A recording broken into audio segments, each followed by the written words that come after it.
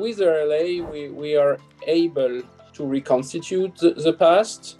And th- this this is answering the, the, the, the need uh, to, to know how long the machine are, has operated and how it was operated. So it really helps us uh, to, to understand uh, what happened and then also reassure the customer uh, and the user of the machine of how long he can operate the machine, giving him a long term perspective. We give a warranty that the machine will work for X amount or X number of years under these conditions, and that the welding are okay, the steel is okay, the level of fatigue didn't is not below a certain threshold.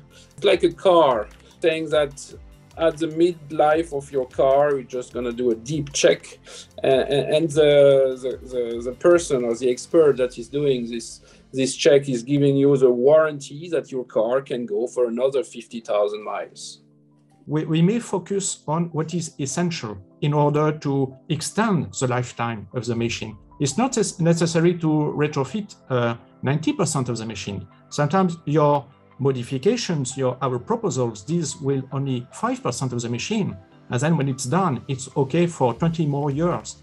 So see, having this kind of special evaluation, but finally you have a good overview of the strength of the machine and where it is necessary to optimize it. And somewhere there are some areas where you may decrease the thicknesses. You realize that it's oversized. So you may remove a little bit of steel and put it where it is necessary. So you optimize, and this is useful also for future designs of AMECO for new machines